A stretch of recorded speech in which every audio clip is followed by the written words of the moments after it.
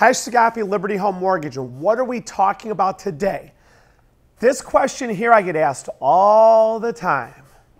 Khash, how do I know if I can afford a home? Okay, that's a great question. You ready for a terrible answer?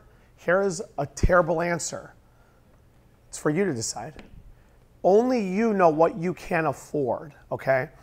Now, when it comes to home ownership, there's a lot of expenses in there above and beyond the electric and the gas and I almost always say cable, okay? Maybe I was just spoiled as a kid, okay? So I guess cable's not a not a given, but especially today with cell phones, my God, you keep your cell phones, YouTube, TV, and whatever in the world it is. But you are the only one who knows what you can afford, okay? Well, how do you figure that out? This is what you have to look at because with a high probability, well, depending on what time you're watching this video, there's a window of time between 2021 to 2023 and 4, maybe a little bit sooner than 2021, in the early 2020s, I guess you could say, that rents skyrocketed up. Now, mortgage rates went with them, so that ultimately the mortgage payments went up with it. But there are a lot of situations where I've seen people buying a house and their new mortgage payment is actually less than they're paying for rent. It's not often. Historically, over the last 100 years, okay, let's just go with a big 35,000 foot view, right? When you're looking at a rent payment, more than likely how much you're paying for rent, you are going to end up paying more for a mortgage. So that's the scary part because you're sitting here saying, I'm paying 1200 a month for rent. My new mortgage payment is $2,000. Can I afford $800 more a month? You have to look at your personal budget to see exactly what you're spending money on. You have to write down, in my opinion, I tell people this all the time write down, you don't have to write it down anymore, especially today where computers are. You could download this stuff on the spreadsheets. What exactly are your expenses? What exactly is your income? Put them side by side, see exactly how they match up. When it comes to a payment, I always tell people this small, small, small. Stay small, keep the payment down. Don't try to go crazy on your first house. If at all possible, make sure that you can cover that mortgage payment. I've had people ask me, well, Khash, what's the rule of thumb? There's no rule of thumb. There's guidelines, there's generally accepted guidelines, but it's different for everybody. I don't know what your personal spending habits are. Do you spend a ton of money on Amazon? Do you do Uber Eats? Is that how you eat? Is that how you get, you know, you feed yourself for God's sakes? Instead of going to the grocery store, do you pay uh, to have it delivered to your house?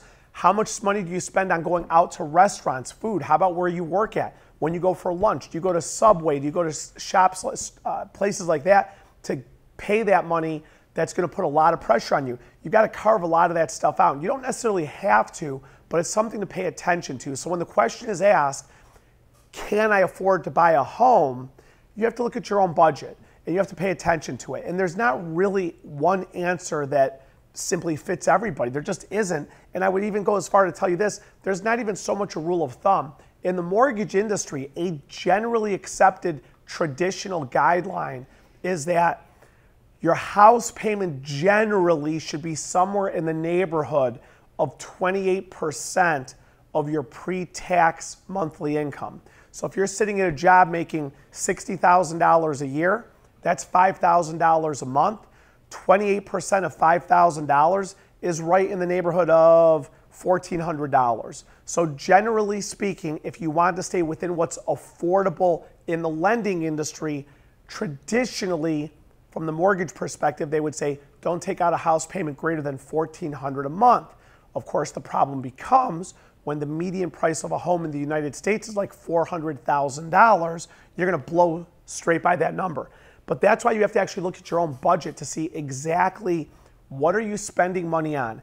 I guarantee every person watching this video, and you've got to make sure you're subscribing to my videos and sharing these on your page so that way even more people could see it.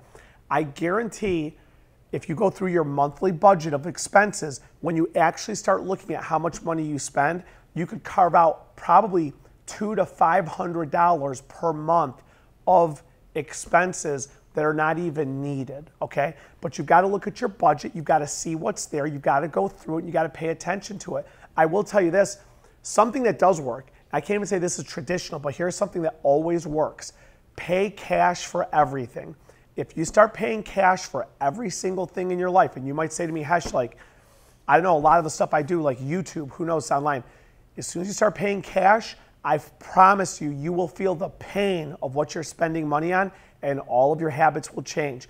But these are the steps you have to go through to try to figure out, or better yet, try to make sure that the home you're buying is affordable. But you got to keep watching all these videos, stay on top of them, make sure you subscribe, and I'll catch you on the next one.